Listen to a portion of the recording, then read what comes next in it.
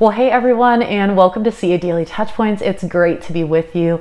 I just got back from two weeks of vacation, and it was so, so good to have time off. Um, I spent a few days up in Big Bear with my husband and kids. A huge highlight of our time in Big Bear was taking the boys kayaking on the lake. It was so much fun, but it was just great to be away and have extended time with my family. I want to say thanks to Marvin and Elizabeth for jumping in and doing our daily touchpoint videos these last two Tuesdays.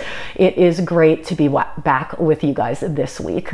Well, today in our CA Daily Bible Reading Plan, we are in Numbers chapter 8. And most of this chapter is talking about the process that the Levites went through so that they were prepared to serve in the tabernacle earlier in Numbers, we're told what their role would be in the tabernacle. They would be responsible for transporting and guarding it. But before they could do that, chapter 8 tells us that the Levites had to go through a cleansing process. And then look at what happened after the cleansing process. Here's what we read starting in verse 10. When you bring the Levites before the Lord, the people of Israel shall lay their hands on the Levites, and Aaron shall offer the Levites before the Lord as a wave offering from the people of Israel, that they may do the service of the Lord.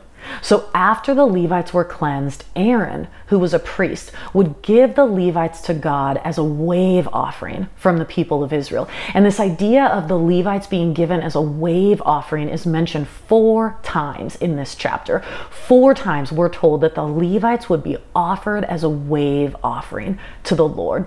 Now, typically, when a wave offering was given, what would happen is that the priests would take a portion of what was offered and they would literally wave it in the air. Usually, it was waved side to side, and then it would be given back to the priests to be used by them. Now, it's not clear how the Levites were waved, but the fact that we're told they were given to God as a wave offering makes me think they were given to God offered to God, and then God gave them back to the priests and to the people of God to be used by God and to serve Him in the tabernacle. One commentary I read said that a wave offering would present something to God as a way of saying, This is yours, God. So when the Levites are presented as a wave offering, it's Israel's way of saying, These Levites belong to you, Lord.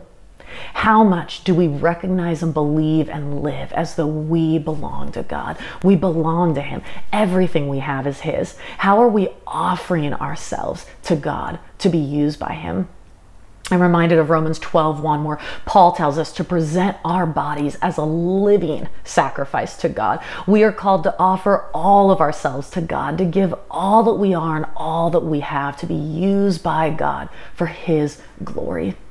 So let's be people who continually offer ourselves to God and who say, God, I'm yours. I belong to you. Use me for your glory. Let's pray. God, thank you so much for all that you've done for us. Thank you for who you are and what you've done through the life and death and resurrection of Jesus Christ. Lord God, I pray that we would continually offer ourselves to you and even now, wherever you're at, if you feel ready to say, God, I want to offer myself to you, I want to offer my life and all that I am and have to you. Use me, God, for your glory. Then pray that right now. Pray that and offer yourself to God as a living sacrifice. God, would we be living sacrifices? God, would we be people who continually offer ourselves to you to be used by you? And would you keep reminding us of the truth that we belong to you? Our lives are not our own, but they are yours. You created us, you sustain us, you are in control. God, we belong to you. We love you. We pray this in your name, Jesus. Amen. Well, thanks, you guys. Great to be with you.